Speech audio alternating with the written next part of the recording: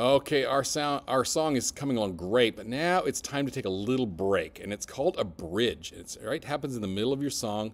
I'm going to put the playhead right here after this uh, part of the chorus, and I'm actually going to select this um, track up here. So this track is now selected, and I'm going to cut the track right here. We had looped it, so I'm going to double tap, two finger tap on the trackpad here, and I'm going to say split at playhead. So now there's a track here, I mean a, a section here, and a section here and I'm now going to grab the bottom part of this and I need I'm going to make my bridge oops oops oops oops.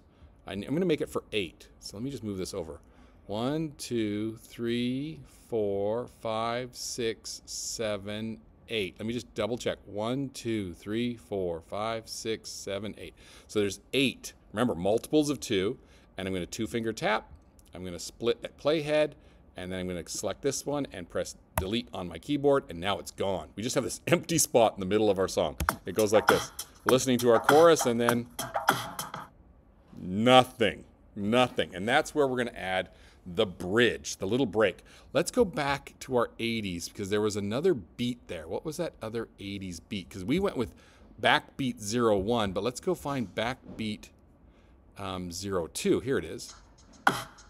It's very similar, so I like that a lot. So let's go put that in, and then let's let's loop that out to fill that hole. Okay, so we've got that in there.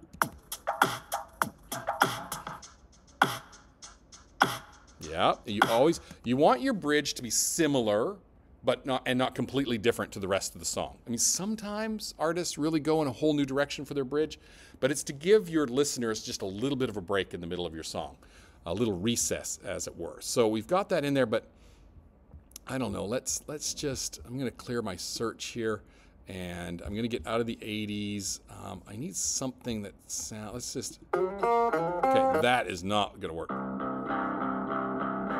No. What is this one? I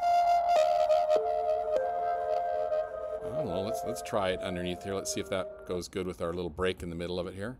So we're listening to our song, dun, dun, dun, dun, and then suddenly. Okay, I think that's just a little too creepy, so we're going to go ahead and two finger tap over here and delete that track. It's like, hey, there's something there. I'm like, no, that's okay. I really don't want it. Okay.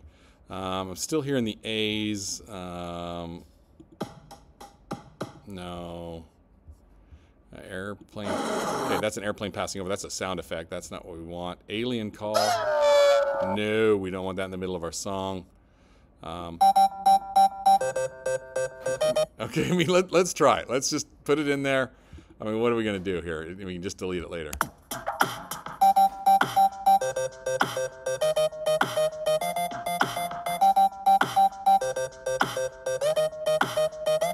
Okay, I gotta tell you, I like it. It's staying in the song, so please do the same thing.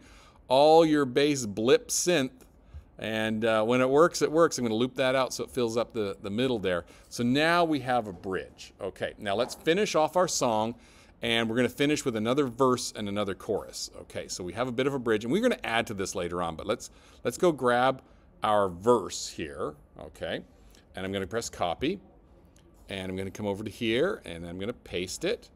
I'm going to go grab our chorus, copy, and then I'm going to paste it.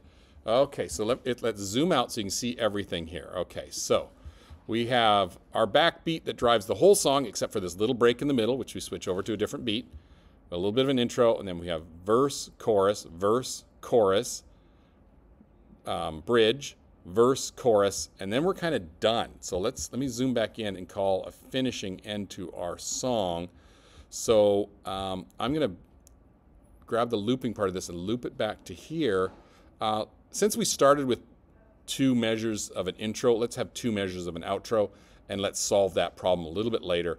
But this is the backbone of our song right now. So we have actually, yeah, all the backbone material for a song. We have everything we need. So come back in the next one, and we're just going to keep adding some interesting layers to it.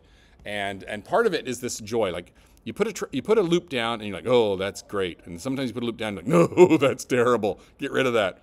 and I've showed you both examples of those. So, and you can see I followed a, a theme here, which made it really easy because I'm kind of making an 80s retro song. So uh, come back in the next one, and we're going to add some really cool, cool layers to it.